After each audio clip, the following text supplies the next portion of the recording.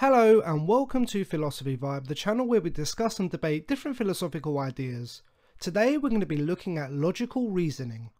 Now, logical reasoning is the way philosophers and scientists argue in order to determine a specific conclusion from a number of facts or statements. Right.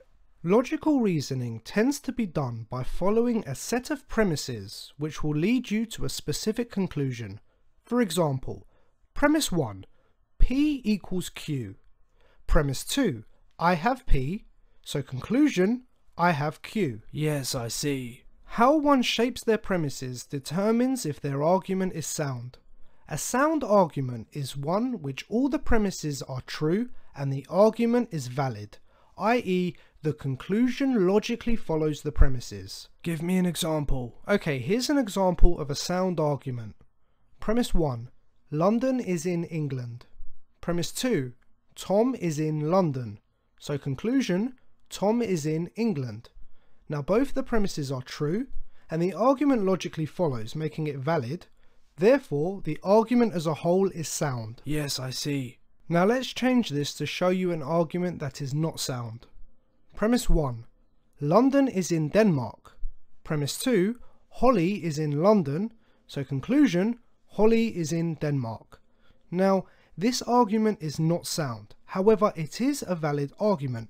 The conclusions logically follow the premises, i.e. if London was in Denmark and Holly was in London, then Holly would be in Denmark. However, the reason it is not sound is because the premises are not true, because as we know, London is not in Denmark. Yes, I understand. Now I will show you an argument that is not sound, but not because the premises are not true. The premises will be true, but the argument will not be valid. The conclusion will not follow the premises. Consider this. Premise 1. Fred is human. Premise 2. Humans are in London. So conclusion, Fred is in London. What can you see wrong with this? Well, here we can see the premises are in fact true. Fred is a human and there are humans in London. Even though the conclusion is true, because Fred is in London, the argument is still not sound because it is not valid. The conclusion did not follow the premises. Just because some humans are in London does not mean all humans are in London, and therefore does not mean Fred has to be in London. Exactly. Just because Fred is a human does not mean he must be in London, as there are billions of humans all around the world. So even though the premises and the conclusion is true, the argument is still not sound. Very interesting. Moving on. There are three main types of logical reasoning which we're going to run through. The first one we will look at is deductive reasoning. Are you familiar with this? Yes, deductive reasoning or a deductive argument is an argument that is intended to be completely true and certain. That is, if the premises are true, your reasoning will lead you to a logically certain conclusion. Correct. So to give an example of deductive reasoning, premise 1, all men are mortal. Premise 2, I am a man. Conclusion, I am mortal. Or another one, premise 1, all humans have brains. Premise 2, I am human, so conclusion, I have a brain. Yes, in each of these, if the premises are true, the conclusion is certain. Exactly. Now then this differs from the next method of logical reasoning, and that is inductive reasoning. With inductive reasoning, the argument's conclusion is highly probable if the premises are true. So instead of being absolutely certain, like deductive reasoning, with inductive reasoning, the argument is meant to establish a high probability of the conclusion. So with the evidence we have, it would seem highly unlikely that the conclusion would be false. Right, so can you give us an example of this? Premise 1. For the past 10 years, every time I've walked past the neighbour's dog, it has not bitten me.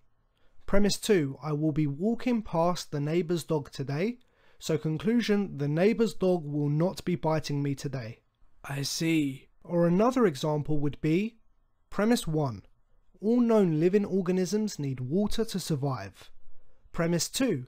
Every time we have found a new living organism, it needs water to survive. So conclusion, If we found a new living organism, it would need water to survive. So as we can see, in the last two examples, the conclusions are highly probable, but they are not logically certain, so this would be an inductive argument. Right, so what is the third method of logical reasoning? The third method is known as abductive reasoning. This is similar to inductive reasoning in the sense that it does not lead to a logically certain conclusion, however with abductive reasoning the conclusion is even less probable than inductive reasoning. In fact, with abductive reasoning you are making an inference. It's almost as though you are guessing based on the evidence you have and the observations you have made. You create a theory where the simplest and most likely conclusion will follow. Okay, could you give an example of this? Okay, Premise 1. Fred has been stabbed. Premise 2. A knife matching the stab wound has been found with Tom's fingerprints on it. Conclusion Tom stabbed Fred. Right, so although not certain, but based on the observations we have found is the most likely conclusion.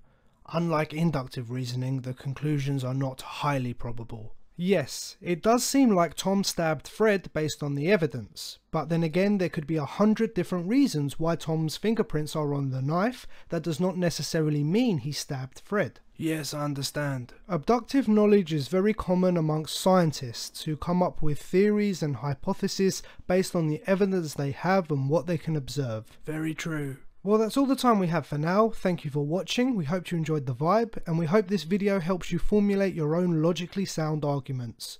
Don't forget to like, share and subscribe, and help us grow this channel. Take care until next time.